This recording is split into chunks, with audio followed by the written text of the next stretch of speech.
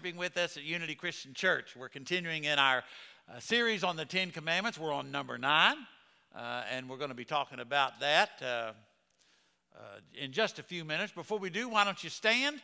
And uh, Jason and the team are going to come and lead us in, in our singing and worship today.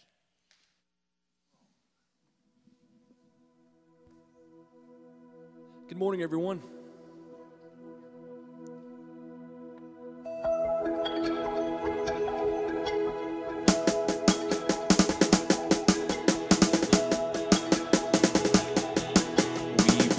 Spirit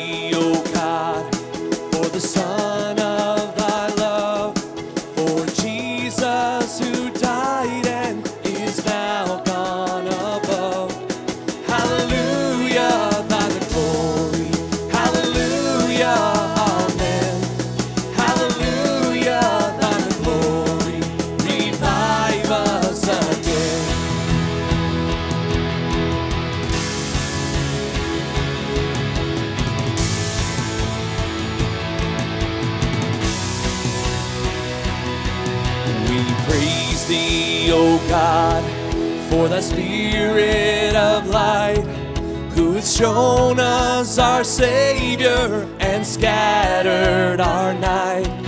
Hallelujah, thine the glory. Hallelujah, amen. Hallelujah, thine the glory. Revive us again.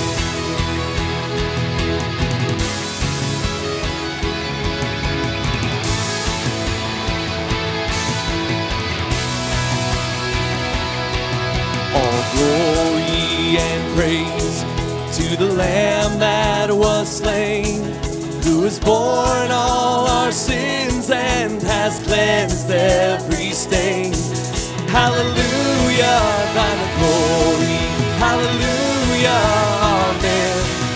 Hallelujah, thine glory.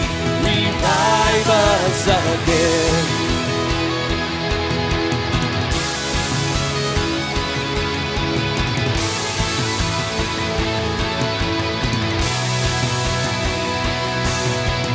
Glory and praise to the God of all grace, who has brought us and sought us and guided our ways. Revive us, revive us again. Fill each heart with thy love. May each soul be rekindled with fire from above. Hallelujah, glory. Hallelujah, amen. Hallelujah, the glory. Revive us again.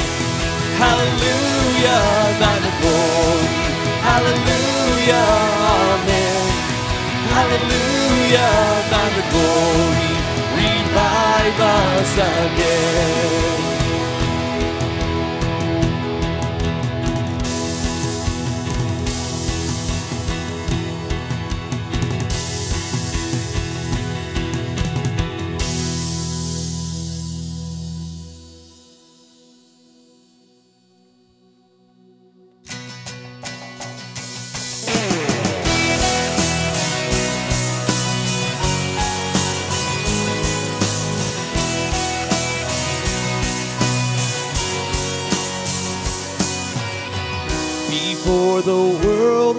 Made before you spoke it to be. You were the King of Kings. Yeah, you were. Yeah, you were. And now you're reigning still, enthroned above all things. Angels and saints cry out. We join them as we sing. Glory to God. Glory to God. Glory to God forever. Glory to God, glory to God, glory to God forever.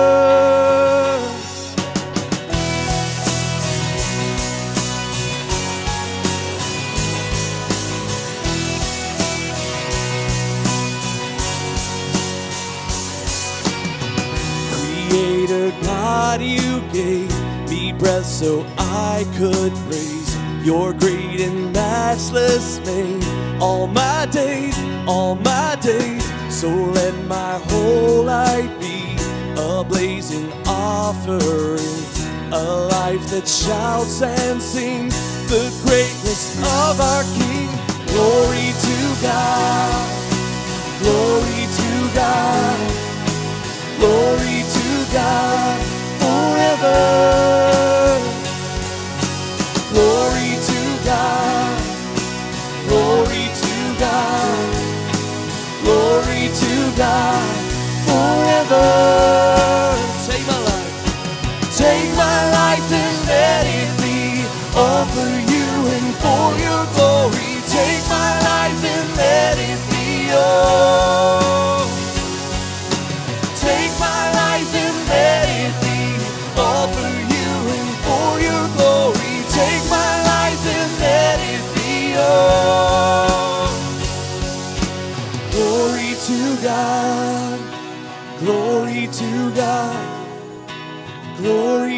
God forever. Glory to God,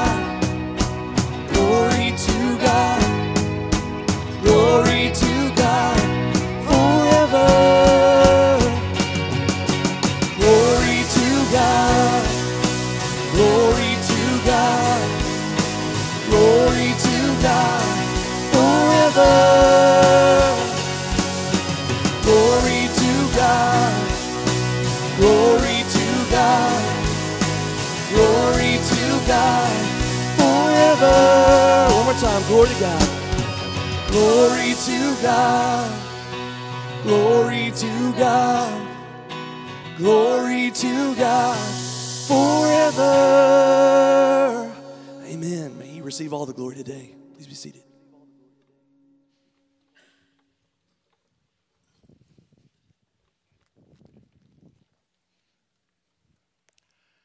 Back in 1991, two guys wrote a book, uh, The Day America Told the Truth. Guys by the name of Peter Kim and James Patterson. And, and the premise is what they did was they just did sent out a survey across the country, and uh, they were anonymous. You could answer these questions any way you wanted to answer them because no one would ever know what your answers were, and they compiled it all into this book, The Day America Told the Truth. Without any fear of uh, recrimination or consequences, uh, America did tell the truth. And over the course of their research, when all these surveys came back in, uh, the opening introduction to the book uh, lists what they called 23 revelations about America and truth. And one of those reads Lying has become an integral part of the American culture, a trait of the American character. We lie and we don't even think about it, and sometimes we lie for no reason. Along that same line, the New York Times did a, their own survey, and they discovered in their survey that 91% of the people that took the survey say they regularly they regularly don't tell the truth. they regularly don't tell the truth. 20% admitted that they couldn't get through a day without a conscious, premeditated white lie. yeah, sure, I, I lie about every day. I can't get through a day without telling a lie. That was their conclusion. Doug uh, Mushrow wrote an article entitled 19 Great American Lies. Uh, 19 Great American Lies. Uh, let me just give you a few of those great American lies. Number one, top of the list, the check is in the mail. great American lie. Number two, we service what we sell. Uh, give me your number, and the doctor will call you right back. I thought that was pretty good, you know. Here's one that, you know, probably should be at the top of the list, you know, because I've never found this to be actually true. It really is a great American lie. One size fits all. hat down over your ear thinking, well, wait a minute. Well, it kind of fits. I guess kind of counts. Uh, uh, here's one you really got to watch out for, okay? Great American lie. I just need a few minutes of your time. Because it never is just a few minutes, is it? Huh? No. Uh, Uh, uh, you know, this one, this one is ongoing. You've encountered it, I'm sure. We'll have your table ready in a minute. 40 minutes later, we'll have your table ready in a minute. Okay, all right. That's what you said 40 minutes ago. Okay. And here's one I'm from the federal government, and I'm here to help you. Great American lies. That's why, as I said last week, these Ten Commandments are as contemporary and as relevant today, maybe even more so uh, to a certain extent, as tomorrow's news cycle. Uh, and today's commandment probably has become even more relevant in our culture and our world today. The ninth commandment says, You shall not give false testimony against your name, uh, neighbor. And here's the thing when, when this was uh, applied more readily, because sometimes we say, Well, I don't lie. You know, I don't lie. Uh, but, you know, I just don't always tell the truth. See, that's false testimony. If you want to kind of draw the line in the sand and say, Well, I'm not lying to you, I just haven't told you the whole truth, that's, you're still lying. So the idea of false testimony is far more, has, has, a broader scope than we like to think because we think, I don't lie, I don't lie. Yeah, well, maybe you do. maybe you're lying about lying. uh, but I get carried away. Uh, it was used, uh, part of this was part of, of the judicial system of Israel. It became, you don't bear false witness because in, in, in the justice system, uh, it only took two witnesses. You know, there were, there were witnesses, even to the time of Jesus' trial, there were only a couple of witnesses, you know, that said, hey, this is what he did, this is what he said. And as a result, because there were two witnesses to what he did, that was true. Uh, and there are several instances throughout the Old Testament where two witnesses, sometimes they were acknowledged they were false, not the witnesses, but they were acknowledged to be false witnesses. But as long as there were two, people were condemned to die as a result of the testimony of those witnesses. So, and the highest, the, highest level of truth telling in a court of law, this idea was you shall not give false testimony against your neighbor. And we've kind of narrowed the focus down sometimes. It says, You shall not lie. That's an injustice to the text when that's all it says. Because we may not always tell a lie, but we may not always tell the truth or we tell a lie in a different way. Now, the Bible says God hates liars. It really does say that. Matter of fact, Proverbs 6, 16 and 19, there are six things the Lord hates. Seven that are detestable to him. I love that little uh, parenthetical phrase there. Seven that are detestable to him, by the way. And one of them is a lying tongue. And look at this a false witness who pours out lies. God hates that. And so, in order to, this came later, but the idea was this is a violation of the ninth commandment. Which leads me to the question why do we lie? Because, you know, this is probably one of those commandments that, you know, uh, we, we've all violated in one form or another. Because sometimes we lie to impress people. Uh, you know, we over and over throughout the news cycle for years, decades even, where people have falsified their credentials or their resume. Uh, you know, uh, uh, college professors, coaches, uh, uh, employees have falsified their, have lied about their application or their credentials or their background in order to get a job, so it, to impress and ultimately lie on the application in order to maybe advance their position. We lie about past accomplishments uh, to win acclaim. You know, I, I, oh yeah, I did this, I did this, I got this, I got that. Uh, I have all my diplomas. I'm not bragging, uh, but I have all my diplomas on the wall in my office. And Judah uh, came by the other day, or I guess it was last Sunday, and he's standing there and he's looking and he goes, uh, Why do you have all your awards on the wall? and, and uh, I said, Oh, I said, let me tell you about those. These are where all I went to school and I, all my diplomas and my ordination certificate. I, I, want to prove people that I, you know, I am educated. I'm not trying to impress. I'm just trying to declare facts. I'm not as dumb as you think I am. yeah, you know, anyway, we, but people will lie about their past accomplishments, you know, uh, uh, in order to, you know, think more highly of them. Sometimes we lie to get revenge. Um, sometimes we lie to make a profit. We talked about this last week. We lie so we can steal. Take, check two off your list because there we got that covered, you know. Uh, sometimes we lie for out of convenience. You know, uh, we just don't have the courage to say no. Uh, so we'll make something up. Um, you know, tell them I'm not here. know, ouch, that maybe hurt a little bit, you know. Tell them I'm busy, you know. You're just watching TV. Tell them I'm busy, you know. Uh, we don't have the courage to say no, so we lie. Sometimes we lie to escape punishment. I, have told you about the time I tried to, you know, con a, a Coke out of, uh, out of the grocery store where mom shopped. Uh, uh, I went and told the guy I lost a dime in the, a dime in the machine. Um, and I was just a little guy, so I'm not as old as you think getting a Coke for a dime. anyway, you know, I told you the story. I won't go into all the detail. But when my mom asked me where I got it, I said, Where'd you get the money to buy that? I, and Sydney, my friend from school, was standing next to me. I said, Sydney gave it to me. And he goes, I did not.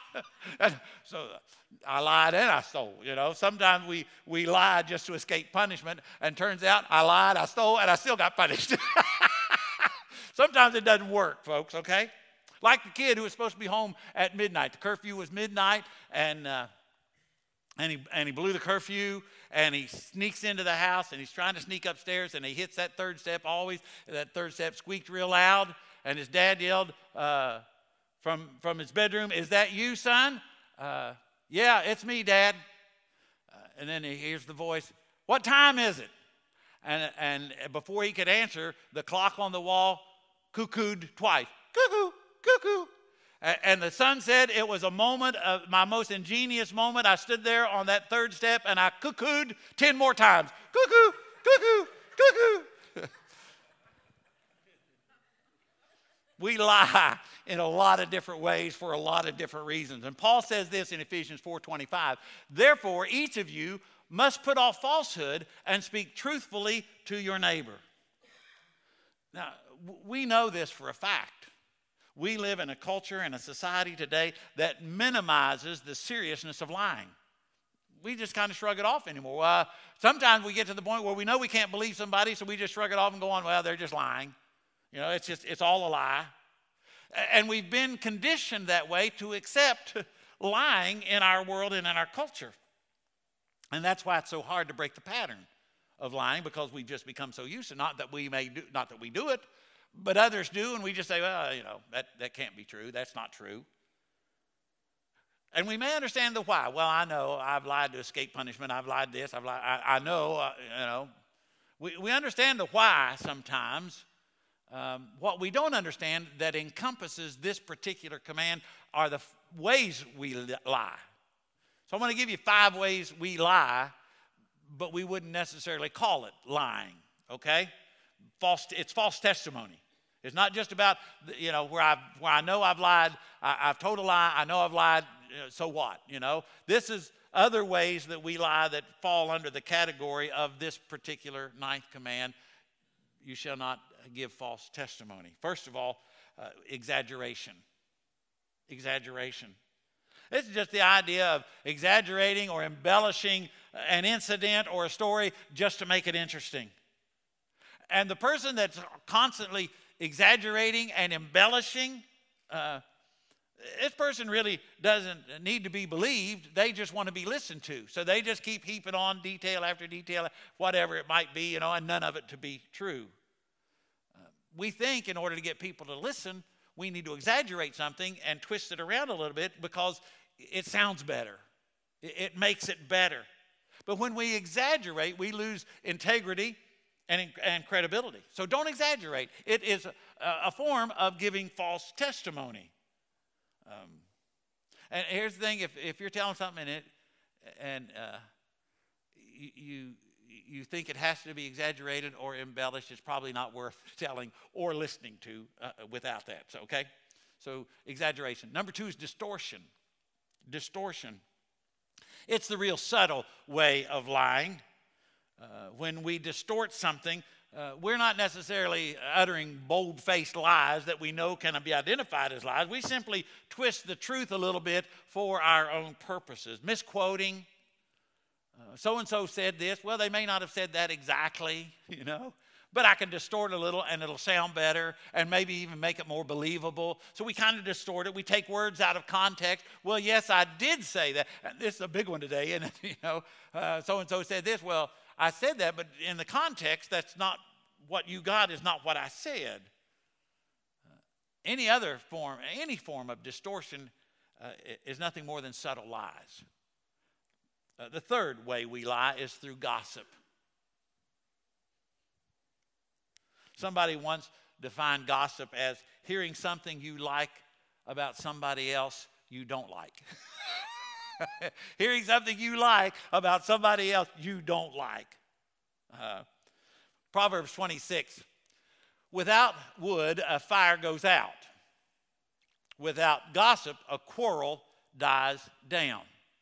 The words of a gossip are like choice morsels. They go down to the inmost parts. And boy, sometimes do we love to eat gossip because it is so good. Tell me more. Um, uh, like the three preachers that were out and decided they all had the same day off. They got in a boat and they went out on a boat. They're out there fishing and said, "Look, we're out here. It's you know, there's nobody within miles. Uh, I think it would be a good idea that we all shared our deep, dark secret of what our worst sin is, where we're wrestling with sin." And they all three agreed. And the first one said, "I I, I have problems with greed." Uh, I, I, love money. I can't get enough money. I, I, don't believe I make enough money. So I've been known to dip my hand into the offering box from time to time, and uh, so I can have some spending money for the week. The second one, you know, said, uh, "Well, if we're being honest here, I've got a problem with lust. I just can't seem to overcome it. I can't seem to control it, and I, you know, so pray for me about that." And the third one pipes up and says, my greatest temptation and greatest sin is gossip, and I can't wait to get out of this boat.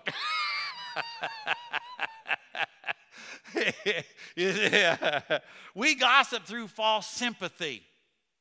And why that, why that? You know, because we'll say, you know, whether anybody knows it, whether anybody knows what's going on, we'll say something along false sympathy. Isn't it just so sad to hear about so and so?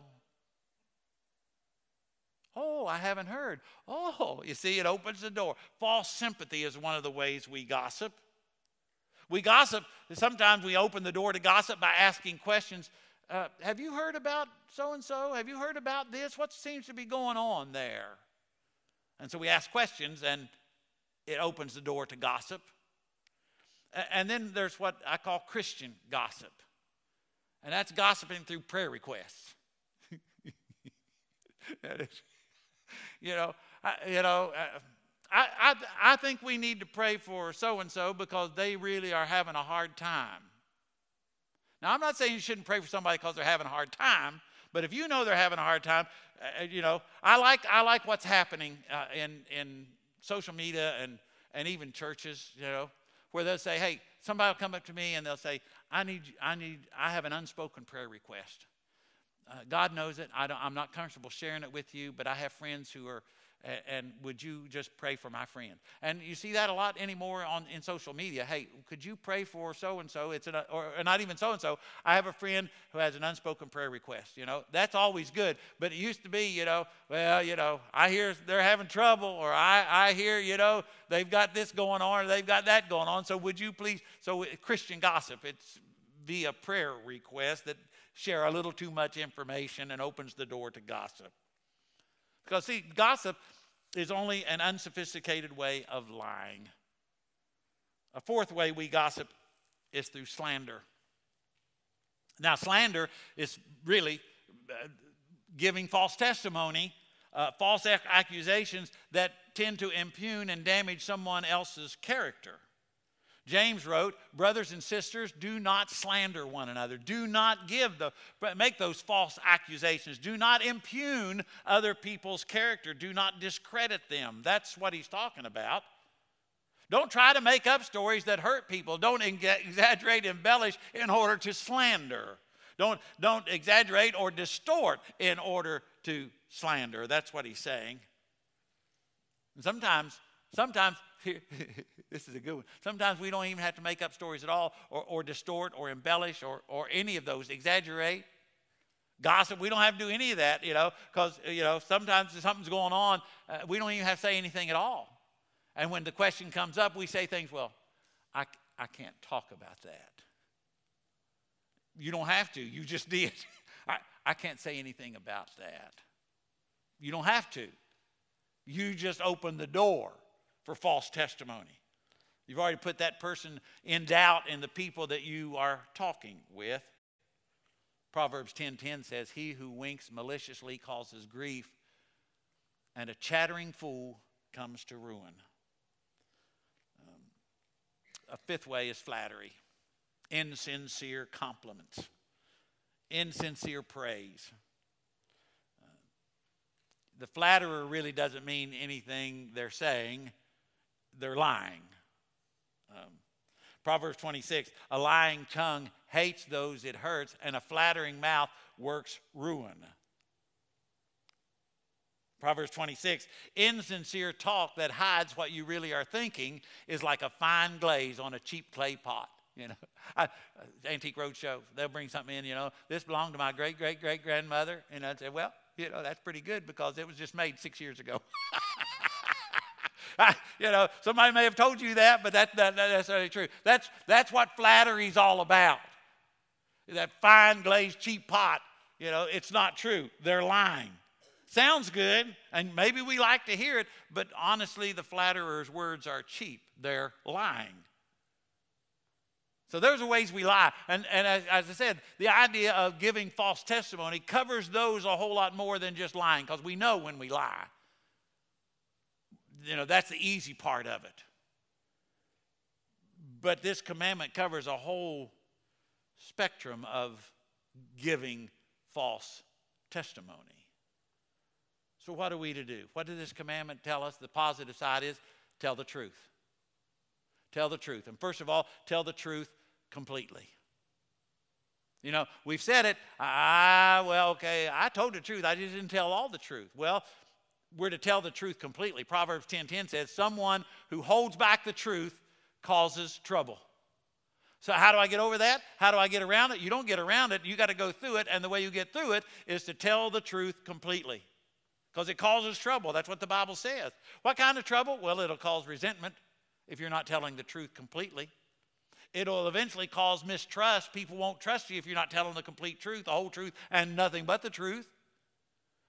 The wisest guy of all time. Solomon says you're going to get into trouble by not saying what you mean and meaning what you say. Tell the truth completely. We have to be brutally honest with people sometimes.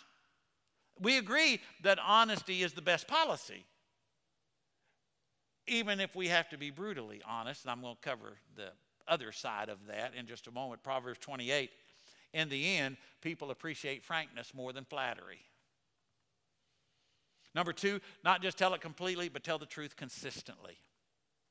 Tell the truth consistently. Let me tell you something. Being honest 80% of the time, you don't get any points for that.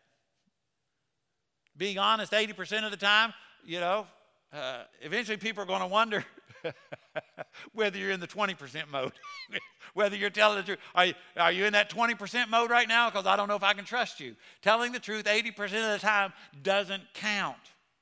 Tell the truth consistently. I, I heard about a guy one time who lied so much he had to get somebody else to call his dog.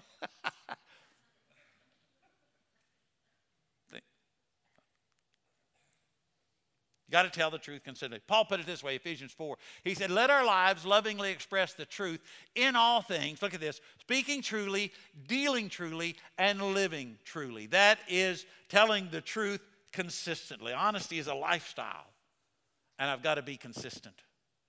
Proverbs 11 says, The integrity of the upright guides them, but the unfaithful are destroyed by their duplicity. I love that word.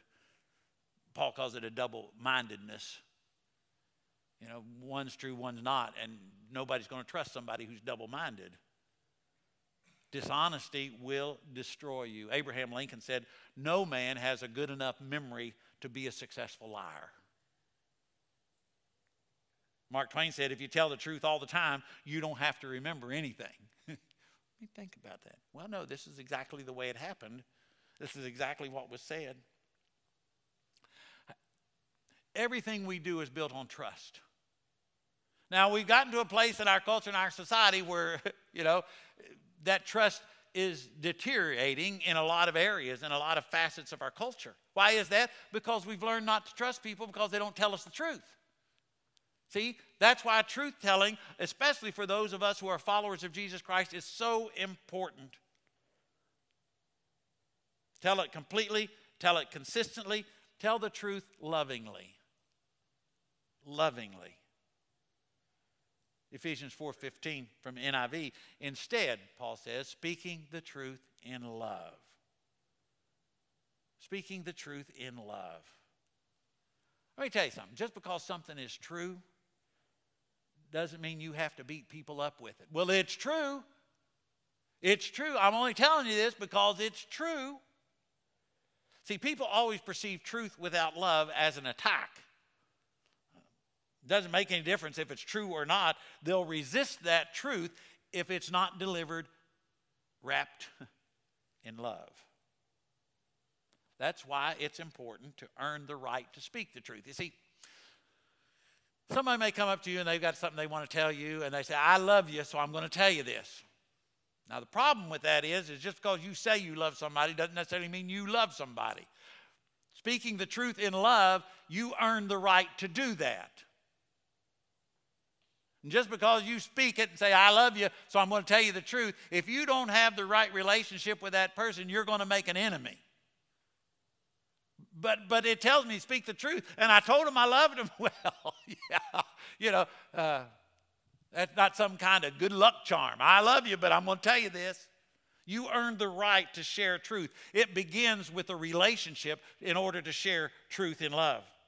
Not just because you say you love somebody, do you have the right to share truth with them. Because here's the thing most of the time, when somebody says, I love you, but I'm, I'm going to tell you this, and it's true. See, you'll know you're telling somebody the truth in love when what you're telling them has nothing to do with you. See, it's not about your preferences, it's not about your taste, it's not about your opinion. It's not about your comfort zone. It has nothing to do with you when you speak the truth in love. It has nothing to do with what you personally prefer or don't prefer. It has nothing to do with any of that. It has everything to do when you've earned the right and have the relationship to speak the truth in love in order to make a better life for the person you're speaking to in love. That's what it's about. Not about you to get something off your chest because you don't like the way they comb their hair or keep their house or whatever it is. the way they sing at church. what they believe about church. It, it, it, has, it's not about you when it comes to sharing the truth and love. It's about an effort to make the life of the person you're sharing the truth with better. Paul says, Ephesians 4.29, do not let any unwholesome talk come out of your mouths, but only what is helpful. Why? For building up others. How? According to their needs. And what's the reason? For that it may benefit those who listen. You, you see that? When we talk about speaking the truth in love, it's according to their needs, not yours. It's for their benefit, not yours. Speak the truth lovingly. And finally, speak uh, the truth tactfully. Tactfully. Again, Proverbs Solomon says, Thoughtless words can wound as deeply as any sword, but wisely spoken words can heal every time you speak. And this isn't just about, this is all about false testimony. It's not just about lying and when you know you lie. It's the broad spectrum of saying, okay, when I want to speak, I want to speak tactfully. You may speak lovingly, but it's also got to be tactful. You have an option every time you speak. The words you use can either heal or hurt. The words you use can either develop people or destroy people. The words you use can either build them up or tear them down. They can either delight or devastate. The words we use have tremendous power and should always be weighed and chosen very carefully. Because here's the deal when you speak the truth in love and with tact, you will learn how to make a point without making an enemy. Proverbs again, Proverbs 16 intelligent people think before they speak. you know, anytime you say, I didn't think before I spoke, you're telling I'm just stupid. That's what that admission is, you know. Because the Bible says intelligent people think. Well, I didn't think. Well, there you go. Here's your sign. I've always wanted to use that line sometime, and there it was, a perfect opportunity. Uh, I'm just stupid because I didn't think before I spoke. I put this little acrostic in, uh, I think it's in your program. Uh, is it in there? T H I N K? Okay. Because uh, this is, this is a great test. You know, if you want to think before you speak, uh, start off, is it true? T. Is it true? If it's not true and you can't verify it to be true, we got no business sharing it. Is it true? Is it helpful? Is it? Some things, some things may be true, but they may not be helpful. you know, so is it helpful? Is it true? Is it helpful? Is it inspiring? Is about what you're uh, what is it, what you're about to share? Is it is it encouraging or discouraging? T H I N. Is it necessary? a lot of things we say uh, uh just aren't necessary. Now, here's the thing they may not necessarily be wrong, they just may not be necessary for you to say it. T H I N, necessary. K, is it kind? T, think before you speak. I, I got this years ago and I thought, this is a good, good spot for that. T H I N K. It's very important that we handle the truth properly. It's very important to know how we lie, why we lie, and how to tell the truth. We, we've been given the responsibility as followers of Jesus Christ to speak truth, to speak the truth consistently and completely and kindly, with love and tactfully. That's also true when it comes to this truth the truth of the Word of God. See, I stand up here week after week after week after week and I know, I see all kinds of people who, who enjoy a variety of relationships with this truth. Some of you, many of you, maybe even most of you, have heard the truth of God's word and you've responded to the truth of God's word. Some of you have heard the truth of God's word and have yet to respond to the truth of God's Word. And some of you maybe have never heard the truth at all. So I want to take just a few moments to share with you the truth of this book uh, consistently, completely, lovingly, and tactfully. And here it is the first truth, the first great truth that comes from the truth of this Word is that we are all moral failures. We've been nine weeks into this series, and you know, more than likely at some point at any given time in our life, we kind of can check all nine of them off. Maybe not all nine. Maybe not, but we can check a lot of them off, okay? Because here's the truth the truth that this book says we are all moral failures. The Bible is very clear. For all have sinned. That's you, that's me, that's all of us, for all time. For all have sinned and fall short of the glory of God. And it is a truth we have come to grips with personally. Because here's the thing right now, for some of you, Satan may be whispering in your ear and in your heart, yeah, you can't believe this. It's not true. That's what, that's what, that's what Satan said to Adam and Eve. Did God really, see, there it is. Did God really say he was giving false testimony by questioning God? Did God really say that? Yeah, that's not true. And he's doing the same maybe to some of you today. Come on, you're fine. I'm okay. You're okay. Don't believe that stuff about sin. See, he may say, You're fine. But the truth of this book says, no matter how good we think we are, no matter how good we may appear to in comparison to other people around us, we all fall dismally short of God's perfect moral standard. That's the truth. The second great truth is that someday we're going to stand in the blazing brilliance of God's holiness. We're going to stand before the God of the universe. Then all of our shams, all of our cover ups, all of our put offs will be seen for what they really are. Well, we may be really uh, able to hide the truth from ourselves and from others right now, about ourselves from others right now. But there's coming a day when the condition of your soul, my soul, our souls will be painfully evident as we stand before the God of the universe. The third great truth. I don't even like to talk about this one, but it is true because the book says it's true. The third great truth is that people who have not repented are doomed and cursed to an eternity in hell.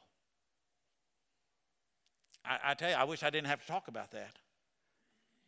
But I'm committed to telling you the truth today completely, consistently, lovingly, and tactfully. And the Bible says that's true that unrepentant sinners will be separated from the eternal God of the universe forever, and they'll dwell in a place where evil, in all of its horror, will be fully unleashed for eternity. So we've sinned. We'll stand before God someday. And if we haven't made that choice that the Bible talks about, the truth speaks, then we can end up in hell. But here's the fourth great truth is that those who acknowledge their sinfulness, those who ask Jesus to become their Savior and leader in life, will escape the judgment of hell and enter into the kingdom of God, who will tell you as you cross in, Well done, good and faithful servant, enter into the joy of my kingdom.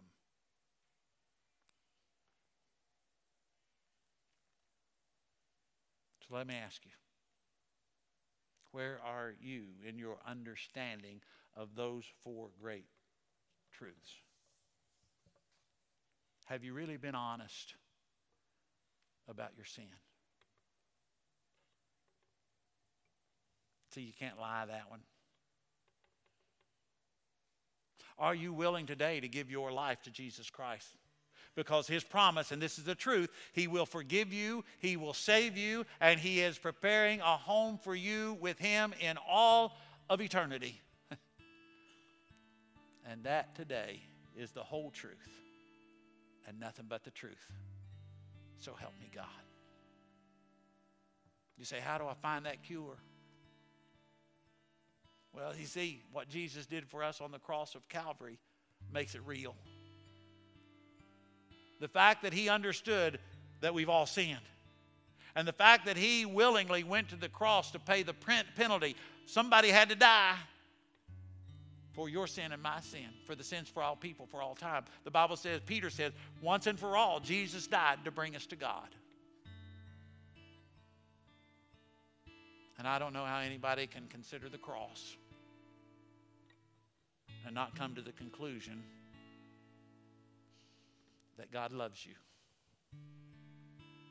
and wants to spend eternity with you. Now, wherever you are in those great truths, maybe, maybe I said I, there's a every week I see people in different stages of truth. Those who have heard the truth, responded to the truth, and are followers of Jesus Christ. Those who've heard the truth and have been ignoring it, or maybe those who've never heard the truth. Well, there's the truth. God loves you so much that He gave His only Son so that you don't have to suffer the consequences, the eternal consequences of hell. But you can enjoy eternally fellowship with the King of Kings and the Lord of Lords. We're going to sing this song because it's all about the cross. The cross is what made that salvation possible. And if you're ready to make that decision and that choice today, I'm going to invite you to come forward maybe to, first of all, first time ever to commit your life to Jesus Christ. I believe that truth, Bruce, and I commit my life to Jesus Christ. Maybe, maybe you've believed it and haven't sealed the deal by being baptized as the Bible teaches. Maybe you're just looking for a community of faith to join and be a part of. We journey this path together. whatever is on your heart. We're going to sing this song. And if you're ready to make that choice and that decision, I'm going to invite you to step out and make your way to the front. Jason, let's sing. Let's sing together.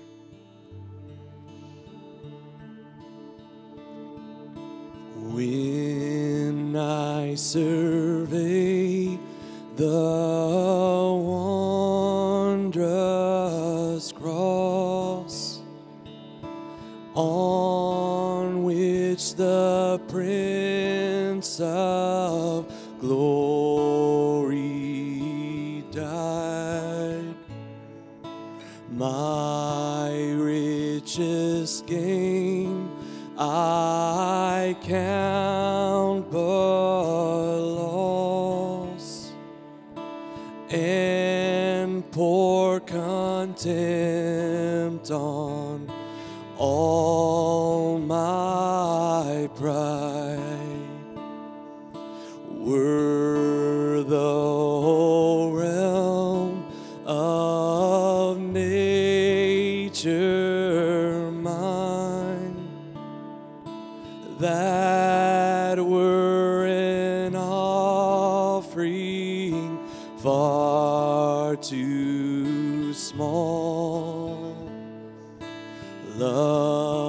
so amazing, so divine,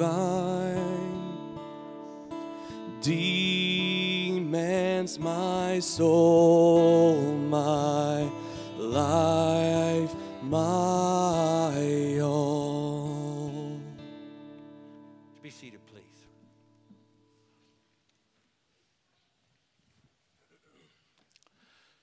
made it very clear for God so loved the world that he gave his one and only Son, that whoever believes in him should not perish, but have everlasting life. And that is the truth.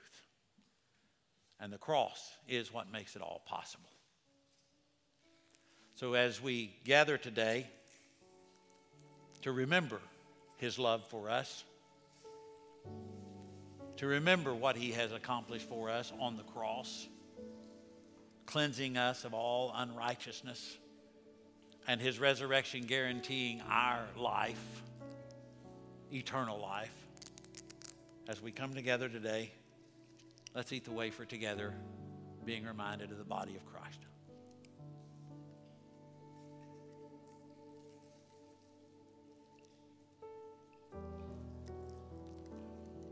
And as we remember the blood,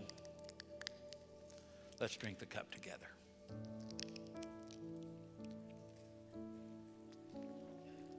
Lord God, we are thankful. We're thankful for that you are the truth, the life, and the way. Father, forgive us where we have failed in this commandment, whether it's out, out lies or any of the other ways we lie. Father, we repent and forgive us. We claim your forgiveness through the blood of Christ. But Father, it doesn't do us any good unless we commit as well to live our lives for your glory.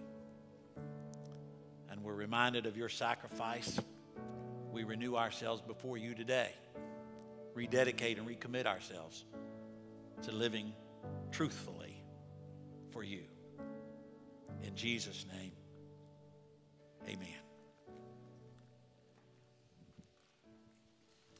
Well, thanks for joining us today online. Uh, our Unity Christian Church services. Each week we premiere at 8 o'clock every Sunday, and th- we thank you for being a part of that. For more information about our church, you can go to unitychristianchurch.net to our website and uh, find a connection to our services as well as additional information about how you can give and how you can connect with us further. God bless you. Have a great week and be safe.